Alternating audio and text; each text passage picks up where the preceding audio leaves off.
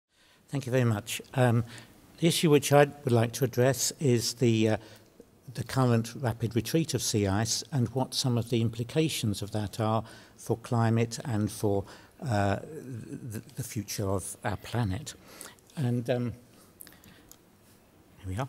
Uh, we've all seen this picture. It's been re shown several times, I think, during this meeting, and it shows the most extreme summer retreat that's occurred so far in 2012. And we see the difference between that and the black line, which is the way the summer sea ice used to be. Now, um, to get a feel for that, uh, those of you who, who go up regularly up to the Arctic will be, have been aware of how rapidly conditions have changed. And so I'll, I'll show a then and now picture and this was the first one here was 1970, August of 1917, my first summer in the Arctic. And this is the uh, Canadian ship Hudson.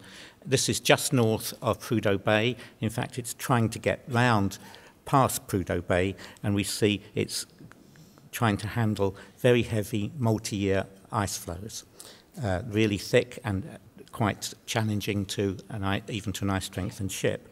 Now, this shows this August um, on the US icebreaker Healy and about 400 miles north of Prudhoe Bay and the, the ice that it's in is very, very weak, vulnerable, and you only really have to sneeze at it and, and it will melt because it's really extremely thin and weak and we can see that it was on the verge of melting. We, the ice that remains in the summer now in the Arctic is first year ice and it's extremely thin and weak ice.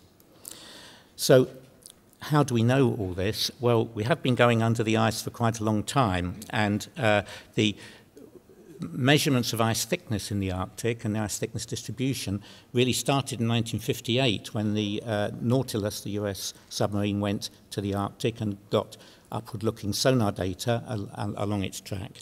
And uh, the British program, which I think could be described as a sort of distinctive British contribution to Arctic science, um, what started in 1971 with the uh, very uh, fine glaciologist Charles Swithinbank going on a British submarine, and uh, many of you will know him. He died very recently.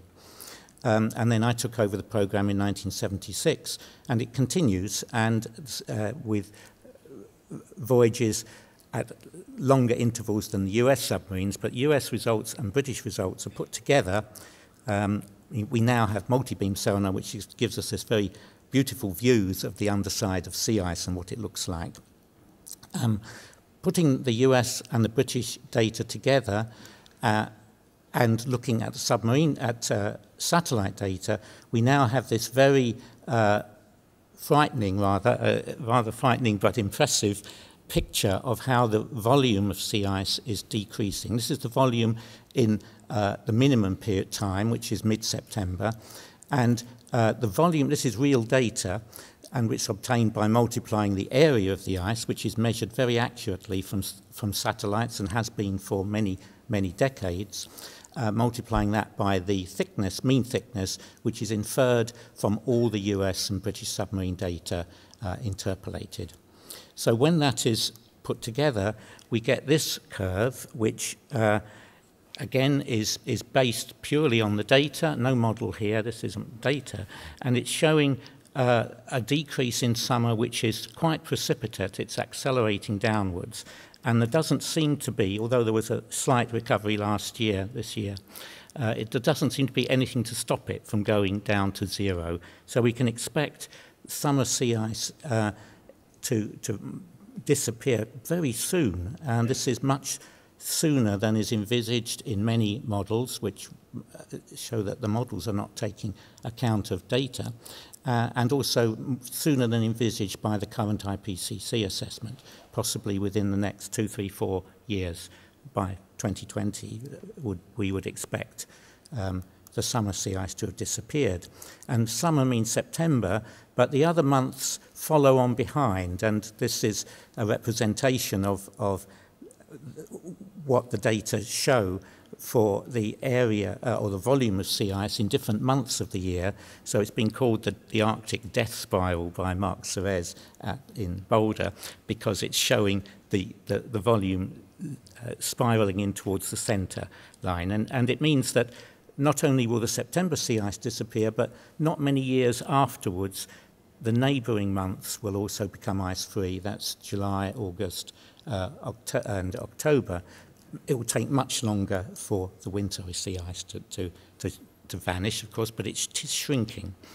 What does that mean? Um, firstly, there's a reduction in the global albedo when the sea ice disappears, and this is a, um, an estimate that's in, in a paper that was published by colleagues at Scripps earlier this year, uh, which is that the, the, the, reduction in albedo caused by this opening up of the Arctic is causing, uh, is equivalent to adding about a quarter to the greenhouse gas emissions, that the, the heating effect of that is like increasing our emissions by a quarter. Um, a second effect feedback is the snowline retreat. And uh, the, the retreat there is very great in spring and mid, early midsummer when the insolation is very high. And in fact, we find that the anomaly of uh, snowline area in the northern hemisphere has reached 6 million square kilometres, which is as great or greater than the, the reduction in sea ice area. And of course, we, you remove snow, it's having, it's having the same effect on albedo as removing ice. The second thing which we've, uh, many people have gone into at this meeting has been the fact that the warmer air masses over the Arctic cause faster melting of the Greenland ice sheet, and that's causing the Greenland ice sheet to lose mass in, at an accelerating rate. And that means that our predictions about sea level rise this century are being constantly revised upwards. The IPCC W, uh, fifth assessment, revise them upwards relative to the fourth, but a lot of glaciologists theologists would like to see them revised upwards a lot more because of this retreat from, uh, the, from Greenland and from the Antarctic. But perhaps the greatest immediate threat is the fact that as the sea ice retreats in summer, this opens up uh, large areas of continental shelf, which then warm, are able to warm up because of the insulation uh, and the fact that the water is shallow. So we now see these big temperature anomalies in summer in, in, uh, around the shelves of the Arctic. And the most shallow shelf of all is the East Siberian shelf, where a lot of field work has been done in the last few years uh, observing methane plumes being emitted, and this is thought to be due to the fact that offshore permafrost in that area is now thawing because of the warmer uh, water temperatures in summer, this is releasing methane hydrates as methane gas, and this shows uh, some results from Shakova and Semiletov, which is showing methane plumes uh, rising and coming up to the surface and being emitted, uh, because it's not true to say that, that methane, which has been observed being emitted from the Arctic, is not get, getting into the atmosphere. It, it doesn't get into the atmosphere when it's released from deep water because it dissolves on the way up. But when it's released at only 50 to 70 meters uh, it doesn't have time to dissolve and it comes out into the atmosphere. And this is a very big climatic threat. Uh, so this is what it looks like.